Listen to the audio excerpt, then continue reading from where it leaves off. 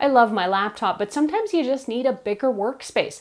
Particularly if you work with photos, video, or multiple docs or sheets at once, having a bigger monitor can make it more comfortable for working. I'm Erin from Tech Gadgets Canada and TechGadgetsInternational.com, and I currently use a 14 inch MacBook Pro.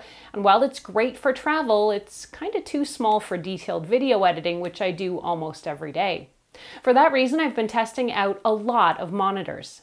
The 32 inch Samsung M8 monitor in sunset pink has arrived into my test kitchen, and more than a simple 4K computer monitor, this baby has a design focused look and it doubles as a TV, making it pretty ideal for smaller spaces like dorm rooms or shared apartments. In this review, I'll look at what this monitor can do, what sets it apart, what it's good at and not so good at, and if I can recommend it for you.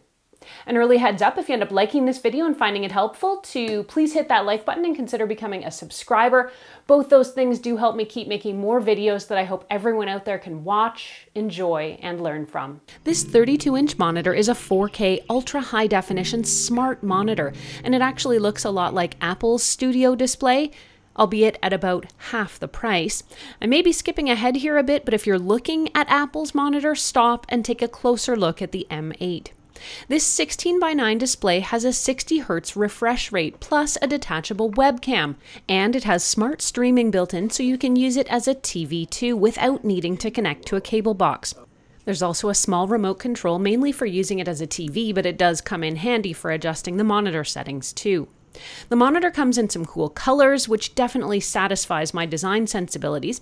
It sits on a thin, flat foot and it's adjustable up or down within about 1.5 to 6 inches off the foot. In a bit of design oversight, it doesn't have a VESA adapter, so you can't put it on a monitor arm if you want to get it off your desk, which is a bit of a shame. The monitor, though, has almost no bezel or edge around the screen, and it's huge with lots of visual space. Let's take a look at the setup process and the connections available. In another oddity for me, the monitor's ports and connections are all located underneath the sliding mount, making them extremely difficult to access easily.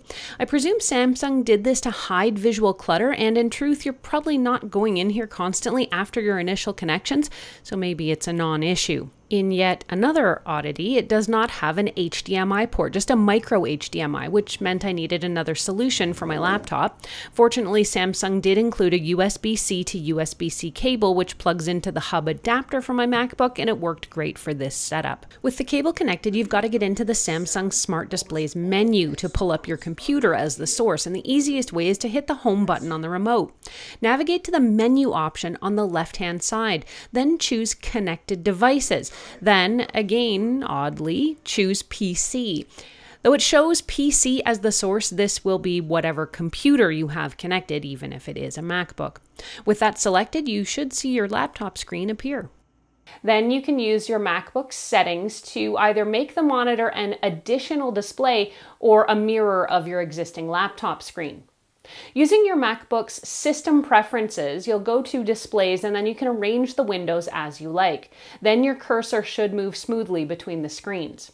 You can also, of course, choose screen mirroring if you want to avoid cables altogether, or there is also a remote login option too for both Mac and PC. I did also briefly try the screen mirroring option so I could go cable free. And to use screen mirroring, just choose that option from your settings on your MacBook, then choose Smart Monitor. I can say this works fine, but using my MacBook's trackpad or mouse on the Samsung Smart Monitor was out of sync. The mouse speed and accuracy is way off. It seems slower and it takes a lot longer to respond, and it's less precise than when using it on the MacBook itself. This makes it absolutely maddening to move between the laptop screen and the Samsung Smart Display, so I switched to the hardwired connection. Using this monitor for work is a dream. The 4K resolution is crisp and clear and makes video editing and blogging easy on the eyes. The colors seem quite natural and bright, and everything looks great. I also really love the widescreen size and the edge to edge design.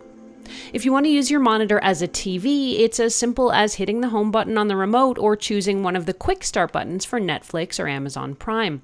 The video viewing quality is fantastic, just like a smaller 4K TV, and with all the streaming channels, including Samsung's live TV options, you'll be saying, Cable who? The internal speaker, while not high fidelity or super powerful, does get the job done. Now, unfortunately, getting back to your laptop screen does require a few clicks. The remote could definitely use an input button to allow for quick switching, but as it is, I needed to navigate to menu, connected devices, and select PC to switch back. Clunky, but it works. The M8 Smart Display, like I said, has a magnetic and removable slim fit cam that can attach to the top of the rear of the monitor. Samsung touts the camera's ability to keep desk space neat and tidy without any unsightly wires. Samsung claims the slim fit cam here also features face tracking and auto zoom functions. In other words, it can follow and capture a person, a great option for more active presentations or for live streaming. In my use with it on the MacBook and with Zoom, I didn't notice any face tracking or zooming or adjustments, so my guess is this works best with a Samsung device. Unless by face tracking they just mean that I stay in focus. If that's the case, it seemed to work well enough. The only thing I didn't like about it though is that it only has very minimal tilt controls, meaning it can be difficult to frame since if you want to lower it, it's actually blocked by the top edge of the monitor. In my setup, I have to have it on a riser, so it does have a hard time tilting down enough to keep me center frame. This is likely much less of an issue if this monitor is sitting directly on your desk. Overall, I'm in love with many things about this monitor, but it does have a few small quirks. The design is amazing and I love the color options. The 4K resolution is sharp and detailed and it makes it a dream to work off my laptop. Plus, it is ultra versatile since you can use it as a streaming TV. Plus, the magnetic webcam lets you make easier video calls without more desktop table, desktop cable clutter. On the downside, the screen mirroring on my Mac worked, but it was pretty laggy, so the hardwired option was what turned out to work best for me. And switching back from the TV to the monitor is pretty clunky. Plus, accessing the ports and connections in the rear isn't straightforward either. The truth is, though, those are pretty minor issues, and in all honesty, if this monitor had one of those VESA mount adapters, I would already have bought one for myself after returning my loaner here to Samsung. But I am trying to get gadgets off my desk, not add to it, so that's my primary reason for not clicking the Buy Now button today. If you want a large, beautiful display for your workspace or you're considering the Apple Studio display, run, do not walk, and get the Samsung M8 Smart Display instead. It sells for about 699 US or 899 Canadian and you can get it from Samsung, Best Buy, or Amazon. Considering a curved monitor for work from home, I was too until I tried it. Find out why this is not the ideal option for a home office, or check out one of my favorite widescreen monitor options that comes with its own monitor arm for home office space saving.